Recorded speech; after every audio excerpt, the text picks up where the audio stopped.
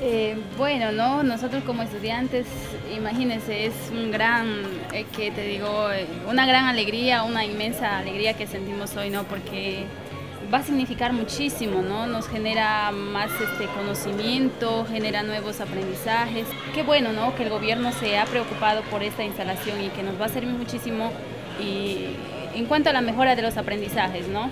Para nosotros es este contar con ese internet y la velocidad que, cuenta ahorita, ¿no? me imagino que va a ser mucho mejor que anteriormente. Anteriormente entrábamos un, estudiante al internet, solo uno, dos, tres contábamos con internet, los demás se quedaban y no podían trabajar. Creo que hoy la mayoría van a hacer su trabajo en, en una hora exacta, van a tener más información, contar con esa información como estudiantes va a ser mucho mejor.